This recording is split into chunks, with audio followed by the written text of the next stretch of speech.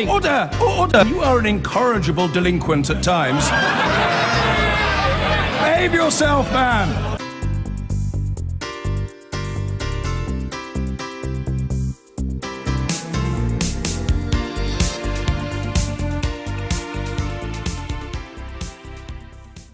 On Monday, Hilary Benn made Labour's case for Britain to stay in the European Union. Later this week and next, I'll be speaking to leading campaigners on the Leave side of the debate. But tonight, I'm joined by the Chancellor, George Osborne. He's part of a Conservative government that's given us this referendum and is now campaigning hard for the UK to remain in the EU. Welcome to the programme, Chancellor. It's good to be here. Now, you claim the European Union could cause armed conflict if we leave. Uh, you could put a bomb under our economy if we leave, the Prime Minister's words, hurt pensioners, collapse house prices. Why are you risking all that with a referendum? Look, I don't think it's ever a risk in a democracy to ask the people. And all my lifetime, this issue of Britain's membership of the European Union has hung over our economy and our security, and I think it's right that the people decide. You know, I think Britain can be one of the great success stories of the 21st century. We've got the talent, the drive, the connections around the world. But if we vote to leave, then we lose control. We lose control of our economy. And if you lose control of your economy, you lose control of everything. And that's not a price worth paying. Before you called this referendum, did you ever think that the consequences of losing then would be, by your own standards, so bad? Well, I knew it was a big decision, as of course did the Prime Minister, but it was also a decision of the British people, Andrew. We put this in the manifesto upon sure. which we were elected. And I think people should be under no illusions. I doubt there's going to be a bigger decision that we're going to be asked to take as citizens of this country, and all of us, you, me, people watching at home, we all have one vote, so let's use it. Now, despite everything you're saying about what would happen if we leave, only a few months ago, the Prime Minister assured us we'd be okay outside the European Union if we left. This is what he told the CBI. Today, I also want to debunk an argument that's sometimes put around by those who say, stay in Europe, come what may. Some people seem to say that really Britain couldn't survive, couldn't do okay outside the European Union. I don't think that is true. So, last November, we'd be okay if we left the European Union. Now it's plague and pestilence, Sodom and Gomorrah. What's changed? Well, okay is not good enough for Britain. Losing control of your economy is not good enough for Britain. I want Britain to be out there, shaping the world, not shaped by but it. you're not just saying now if we left we'd be okay. You're saying it would bomb our economy. You would say, well, you've said it would be an extraordinary piece of self-harm. And yet a few months ago we're told it would be okay. Well, what, what the Prime Minister is saying is that we could survive outside the EU. The question is, no, where do we thrive? okay. Yeah, but okay is not good enough for one of the great success stories, potentially, of the 21st century. You know, I don't want to be sitting here as the Chancellor who has helped, with the British people, pull us out of the mess we were in six or seven years ago, climbed up those ladders on the snakes and ladder board, and find ourselves hitting the big snake that takes us down to the bottom. That's what at stake. And, you know, it's not abstract. This is about people's jobs, mm. their livelihoods, their ability to provide for their family. That is on the ballot paper Indeed. on the 23rd of June. Well, let's look in more detail at some of your scarier predictions if we leave. You claim house prices would plummet. Now, why would they plummet when even the Treasury is only forecasting, and it may be wrong, a very shallow recession if we were to leave? Well, because the country is poorer, people in the country have lower incomes than they would otherwise have. And as a result, their ability to afford homes is reduced, so the value of homes is less. And as we've heard from the Governor of the Bank of England, mortgage rates might be higher. So well, the ability to, to, afford to, to mortgages is also constrained. We, you know, it's we interesting, we, we estimated in the Treasury, the Treasury economists, the house prices would be 10 to 18% lower than they would otherwise be. And do you know what? Fitch, the rating agency, respected around the world, they said actually it could be 25%. So there are various that's, estimates out there, but I'll tell that, you what... That, that's the ratings uh, agency, Andrew, Chancellor, Andrew. that said all the toxic death on the Royal Bank of Scotland's bank sheet should be rated treble A. Why would you listen to that? Because if you listen to everyone, whether it's all the economists yeah. out there, the big international organisations, the companies, large and small, the trade union movement, the leaderships of the Conservative Party, the Labour Party, the Greens, the Liberal Democrats, the Scottish Nationalists, the Ulster Unionists. You listen to everyone, and they're telling you that Britain will be poorer, The families in Britain will be poorer. And you, look, we can talk about any number of numbers. I'll tell you what they've all got in common. One big fat minus in front of each one of But- them. That's the consequence for the people watching this programme. But I'm puzzled that since the central forecast of the Treasury is for a shallow recession, now nobody wants a recession at all, but the central forecast is for a shallow recession, if we were to believe. So shallow, it's actually within a Treasury uh, margin of error. But the fall in house price is so high, I mean, curiously precise 18%. You say, you don't really know that unless you're not just the Chancellor, you're Mystic Meg. Well, hold on. Your 18% that you quoted, that's the Treasury's forecast if there is a severe shock, and that is not a shallow recession. Right? That is if the financial market turbulence, which we're likely to see in the hours and days after a vote to leave, is uh, compounded by uncertainty over the next few years as we fail to find a suitable arrangement with our closest trading partners. And then this is the crucial point. Unlike actually the very deep recession we had seven or eight years ago, people would know, businesses would know, investors would know that the country is permanently poorer. So the value of the assets in the country, the houses, the pensions, the shares, they all fall to take accommodation for that. You mentioned mortgage payments. And again, on your scenario, you say they could rise by maybe over a thousand pounds on average. I saw one figure in your report, 1200. But if the shock of the economy was as bad as you think, the Bank of England would move to ease credit. It would pump more money into the economy. Why would mortgage payments rise so much?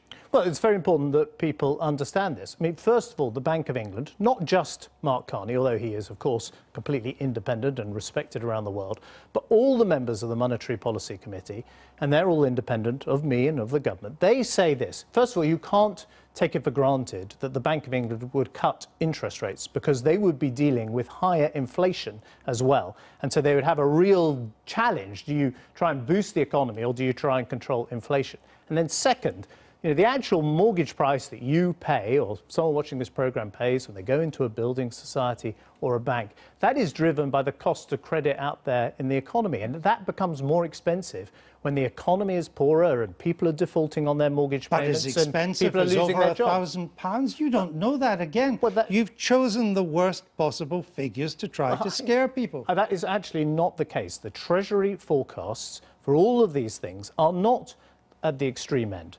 And what we're saying is that mortgage rates could rise between 70 and about 130 basis points, about 1% on the cost of mortgages. But for the average mortgage, that's over almost a thousand pounds. You know, that means a lot to people out there working hard, working hard today, getting home, watching this program. You know, that all gets wiped out. That's the You've, uh, real cost if we if we lose control of our economy. People know this. They've lived through this in recent history. Let's not go there again. You've been scaring pensioners too, haven't you? You've claimed that, uh, or the Remain campaigns claimed there could be £32,000 worth of pensioners. Here's the official tweet designed to frighten the older folks. There we see it there with the, the purse. Let's just look at this. State pensions are protected by your own triple lock. Whether we're in or out of the EU, pensions in real terms wouldn't fall. Well, f- first of all, you keep saying you're attempting to scare the population. You've said it twice now. Frankly, there is a lot to be scared about if we leave the European Union and we risk our economy. And it's, Okay, and, and so it's a risk to pensioners, it's a risk to homeowners, it's a risk to people in work. So the state pension, Right, it's, so- it, it wouldn't Well, be the, falling the in real terms. The state pension, because we had a successful, strong, growing economy, which we don't want to put at risk, rises by the so-called triple lock, either by the rate of inflation, or by the rate of earnings, or by two and a half percent. Hmm. Right. Well, if the rate of inflation is higher, and people are forecasting that it could be three to four percent, the rate of inflation, instead of what it is today, well, that will eat away at the real value of people's pension. Put that in plain English, pensioners will have less to spend. Their, their the money won't go involves pensions are rising by the rate of inflation if that's the highest but the real- of the three triple locks. Yes, and the real increase, therefore, is reduced. Th- th- This matters to me. Andrew, you know, we're talking about numbers. This is the ability of a pensioner to go out there This- and you know, provide for themselves and support themselves, and, the, and their ability of their pension goes less far when there is higher inflation. The, fact pensioners is, know that. in or out, the state pension would rise at least in line with inflation. That's your lock. Showing that empty purse there, empty. You should be ashamed of that, shouldn't you? Well, absolutely not. It's vital that people realise what is at stake here. You know, Well, there's the- a, the- the- there a purse lot- will be empty. Well, I tell you what's at stake: the prosperity of the British economy. We would have a recession. People's incomes would be hit. Their ability to provide for their families would be hit. We've not even talked about unemployment. You know, Andrew, this all feels very abstract, right? I brought along. It's not abstract No, I'm at all. I'm- I'm showing a specific pensioner's example, right? purse. I brought along this because I went to a factory in Keighley in West Yorkshire. This is a part of an Airbus plane, and it's made by a real person on a Mm. real production line, and he worries about his job, and his company worries about their ability to access the single market. Right?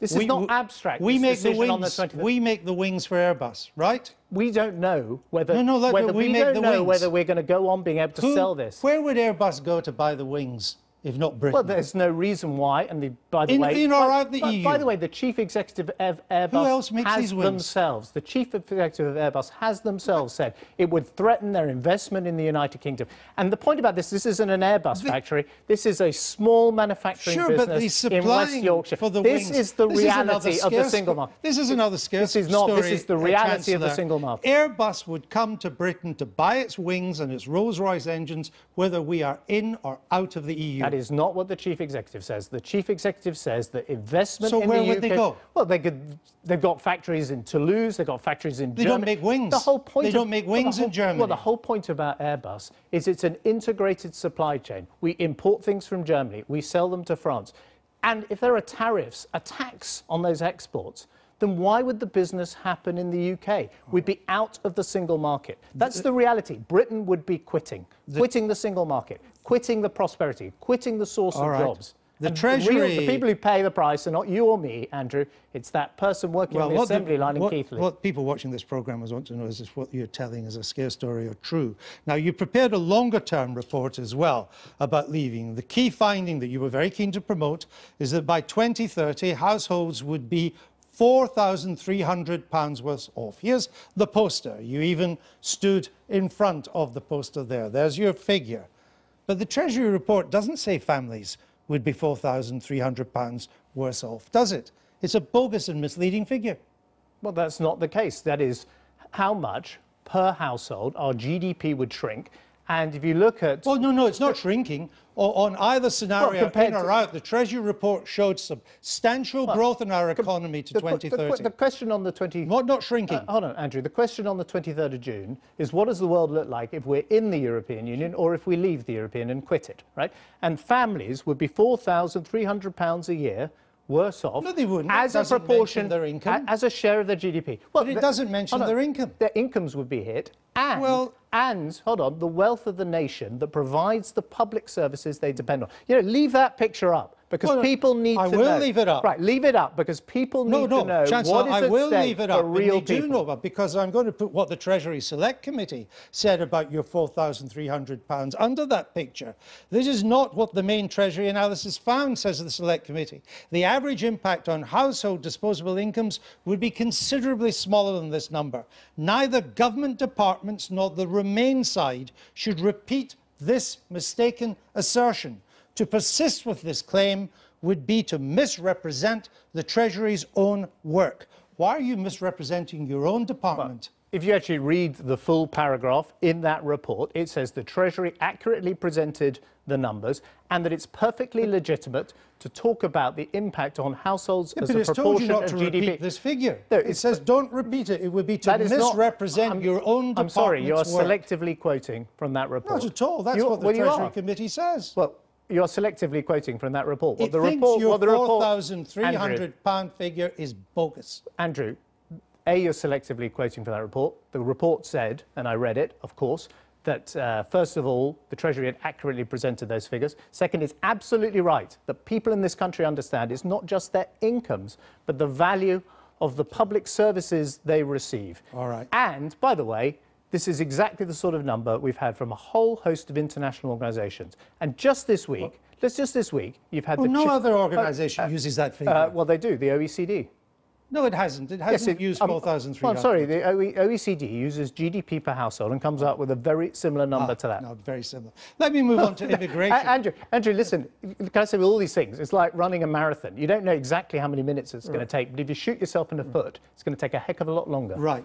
Treasury forecast does reveal one thing, though, doesn't it? It reveals that Your promise, your government's promise to reduce net migration to 100,000 a year, it's over, isn't it? You're not even trying to do that now. Well, I think it is achievable. It's an ambition we set out in the manifesto. Well, except that your forecasts for the 4,300 and everything else by 2030, they assume net migration of another 3 million over the next 14 years. That's an average of 214,000 a year, twice the promise you made way back in 2010 and repeated in your 2015 manifesto. Well, first of all, what those numbers show, what the Office for National Statistics show, and of course independent of government, not taking into account, by the way, the most recent controls we've had on non-EU migration or the welfare uh, restrictions, which we have no doubt come on, on, and talk about. But what it shows is net migration falling from 320 odd thousand this year to 180 odd thousand over five years. Now and that stays is, there for the whole of the next well, decade. I think the crucial thing to managing migration is first of all not to lose control of your economy, but to A, make sure you're restricting non-EU migration, which is over half of the migration we get. Second, as you're doing this, to make sure you don't have the abuse of the free movement no. of people. And we've got that. But crucially, you... this third point, Andrew, can I make this third point? You know, what you've got to make sure is that we have a growing British economy and a growing European economy. And the good news is that the European economy is growing now. We've had an exceptional right. two or three years That's where fine, Britain's been doing well and Europe has not been doing in, as well. In, but actually, look at the most recent GDP data. No, no, I know and, all that. I'm more concerned about better. your promise. You promised in 2010 to cut net migration to 100,000 by 2030. 20 years later, you're still assuming it will be twice that amount. It'll still, a, a number of people, the size of the population of Newcastle will be coming in. It's a broken promise. It's over. No, it's an ambition we intend to It's an ambition now. Yeah, but that's what it was in our no, manifesto. No, it wasn't. It was a promise. No, ifs, no buts, no. the Prime Minister said. Andrew, in the uh, manifesto that the country voted on last year, we set it out as an ambition. I believe it's an ambition we will achieve if we manage migration by A, dealing with the non-European migration, B, dealing with the abuse of free movement and people coming here and taking out before they put in. Well, let's come and C, that. as both economies grow, the European economy and the British economy, you don't have this exceptional situation you've had for the last couple of years where you've had very weak economies on the continent of Europe. Thankfully, they're now growing. That's, by the way, a good Ex thing for Britain because we export to these except, economies and they're crucial to our economic you future. still expect almost 200,000 to come in by 2030. But there was a time when David Cameron said he'd get a grip on immigration by ending free movement from the EU. This is what he told the Tory conference in 2014.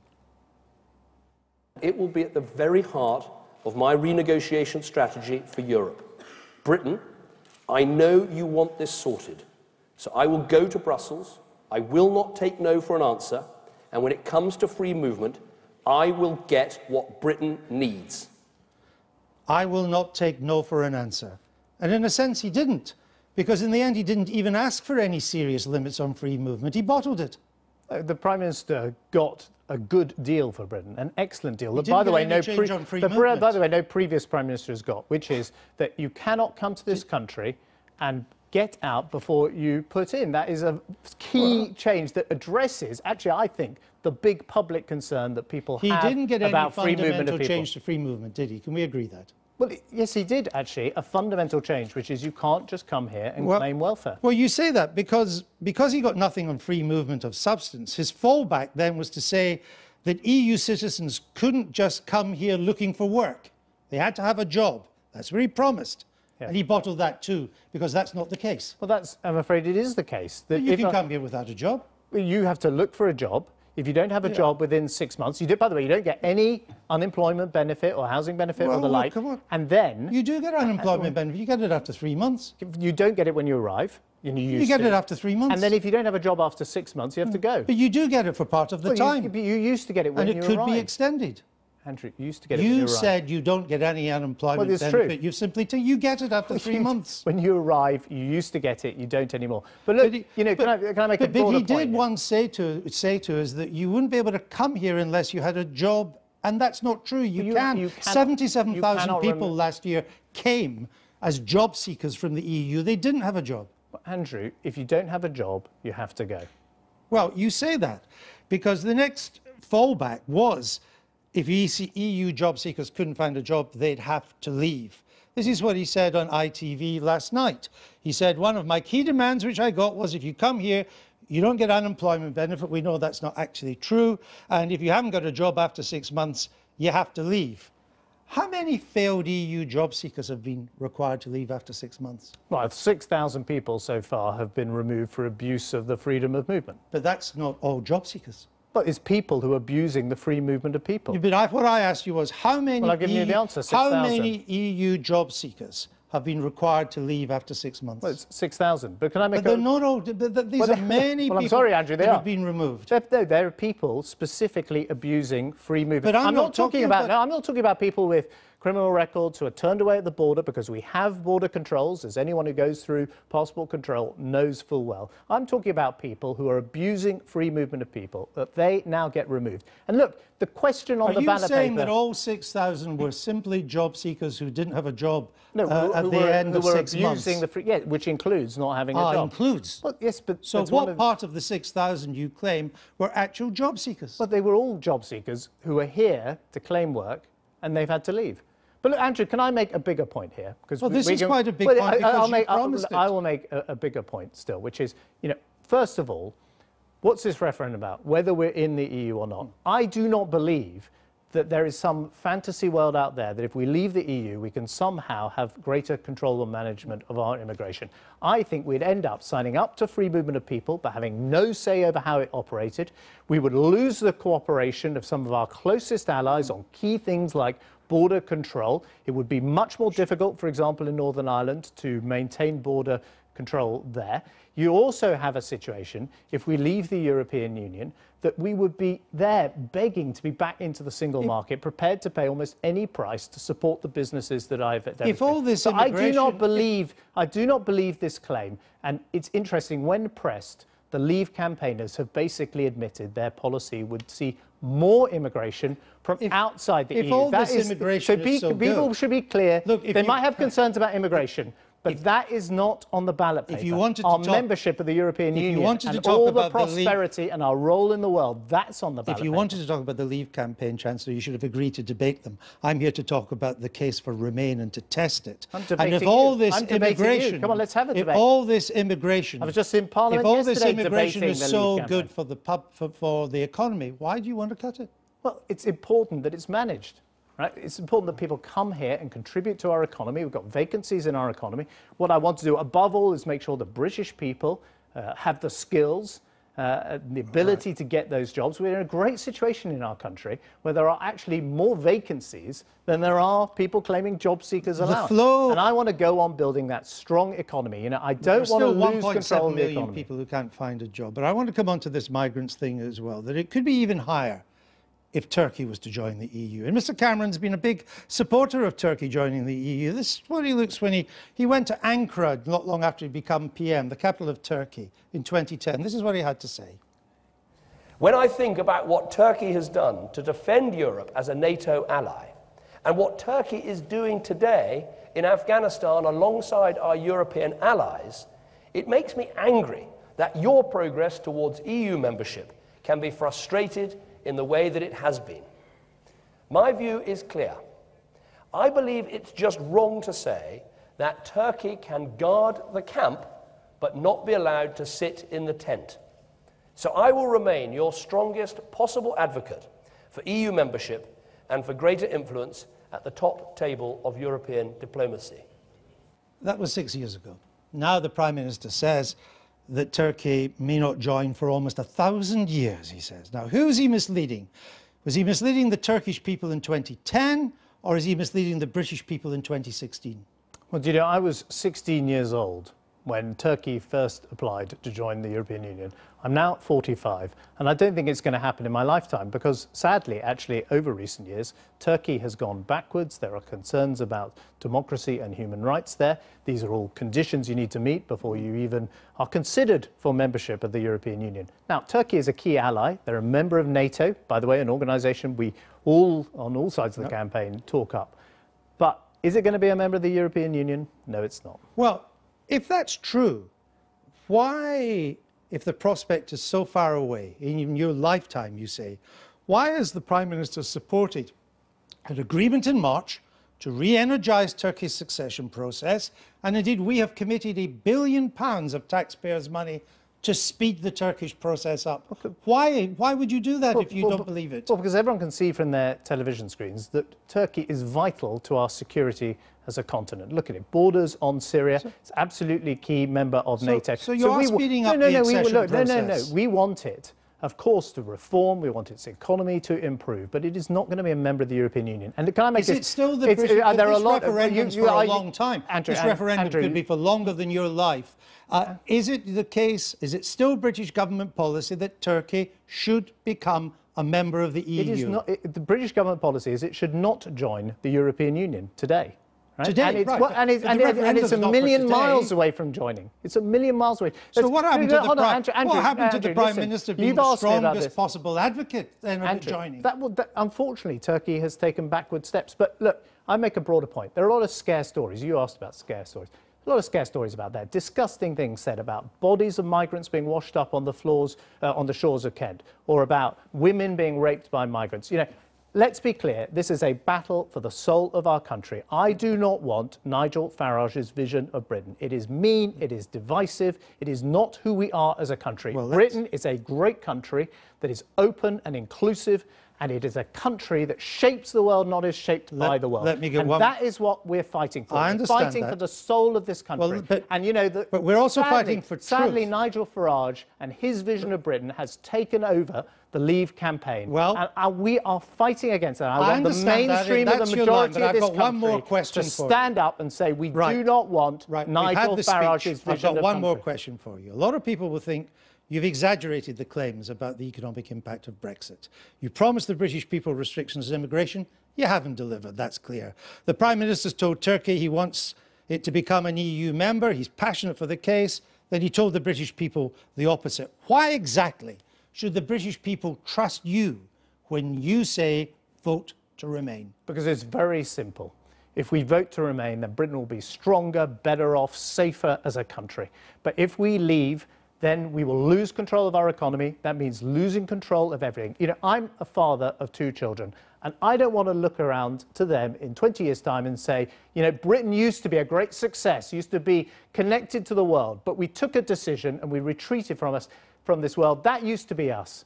I don't want to say that to my children. I want Britain to be the great success story of the 21st century. Chancellor, thank you.